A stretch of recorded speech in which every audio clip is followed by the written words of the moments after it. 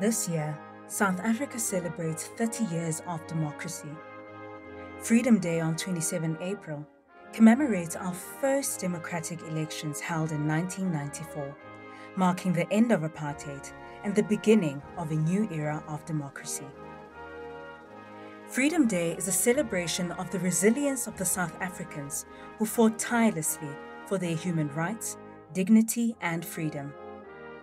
The day serves as a reminder of the sacrifices made by countless activists, leaders, and ordinary citizens who made significant contributions to the struggle for freedom. Over the past 30 years, our country has embarked on a remarkable journey of transformation. Parliament continues to be at the heart of this transformation, steering the nation towards a prosperous and inclusive future.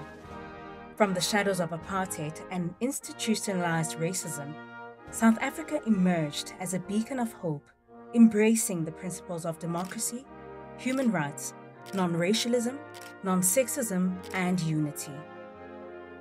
Let us take this opportunity to recommit ourselves to the vision enshrined in our Constitution of a united and democratic South Africa.